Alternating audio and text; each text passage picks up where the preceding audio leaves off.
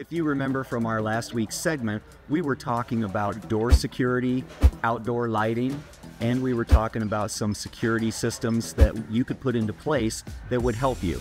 So today we're at our local Home Depot store. Uh, we're down here at uh, 1030 West Sunset at my local Home Depot. I practically live here. And what you probably don't know, or I didn't mention to you last time, is that I've been building custom homes for almost 20 years. So today we're going to talk about specifically door jambs and what you can do to strengthen and uh, harden that target prior to someone making an entry. So the first thing you want to look at is the door jamb itself. Now this here is called the strike plate. And the strike plate is exactly where the deadbolt is going to enter and you want to have at least a one inch depth uh, insert for that. You'll notice that there are two types of screws here. We have a smaller one, which is the standard three quarter to one inch, and then you have the three inch screw that goes in through the strike plate through the jamb and into the actual subframing.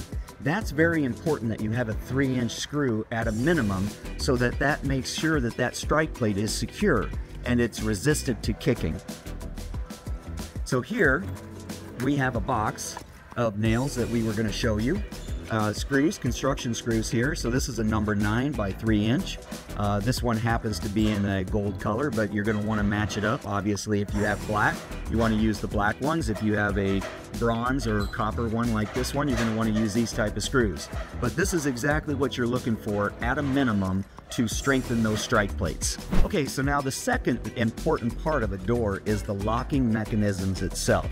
Now, when we go over to the door and lock section, you're going to see a variety of locks that are available.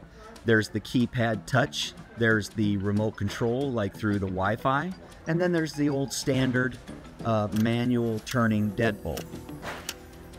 One of the things that again you're looking for is that one inch depth, which is very standard on most of your locking mechanisms these days.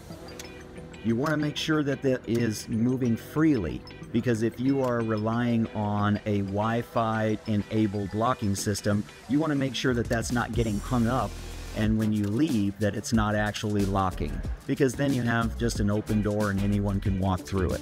So you definitely want to make sure that they're in good condition and that they're working well. But as you can see when we bring this thing in and you lock it in, you now have a secure entry point.